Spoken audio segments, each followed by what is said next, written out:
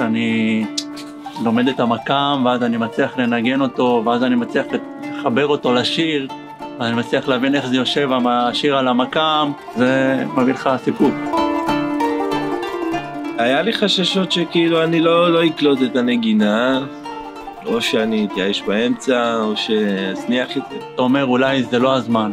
כאילו מה, להתחיל ללמוד עכשיו, זה מתאים, זה לא מתאים. מי אמר לי שאני שייך לשם, למה, למה לעשות את זה בכלל, לא חבל על הכסף.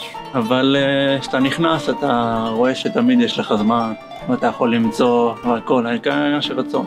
בסוף פשוט זרמתי. והחלטתי שאני, שאני אנגן בו, אבל אני, אני אנגן בו דברים טובים. אני אשמח איתו אנשים, ו... ואני ארפא בעיקר את הלב מכל הכאב.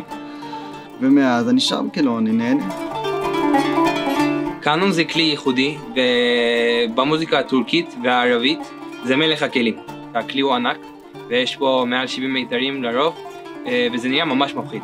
אבל תכלס, די קל להתחיל אה, ללמוד אותו. יש איזשהו תבנית שחוזרת על עצמה. ומלא דברים שמסובכים בכלים אחרים נורא פשוטים בקנון.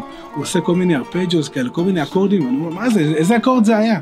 אמר לי, לא יודע, עשיתי 1, 3, 5, יש לי תבנית, ואני פשוט עושה את זה, וזה נשמע טוב. זה כלי ממש פשוט.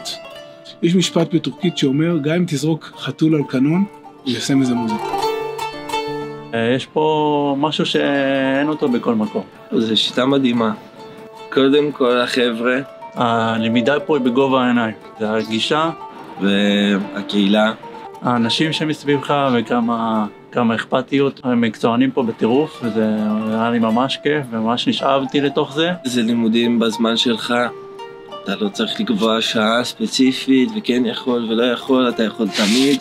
בפרט אנשים שאין להם יותר מדי זמן. אני עובד המון ועובד קשה, ועדיין יש לי את הזמן כי יש את זה באונליין ויש לך את האפשרות בזמן שלך מתי שאתה רוצה ומתי שיש לך את הנחת רוח הזה עכשיו לנגן וזה אתה... אני חושב שקנון זאת ההשקעה הכי טובה.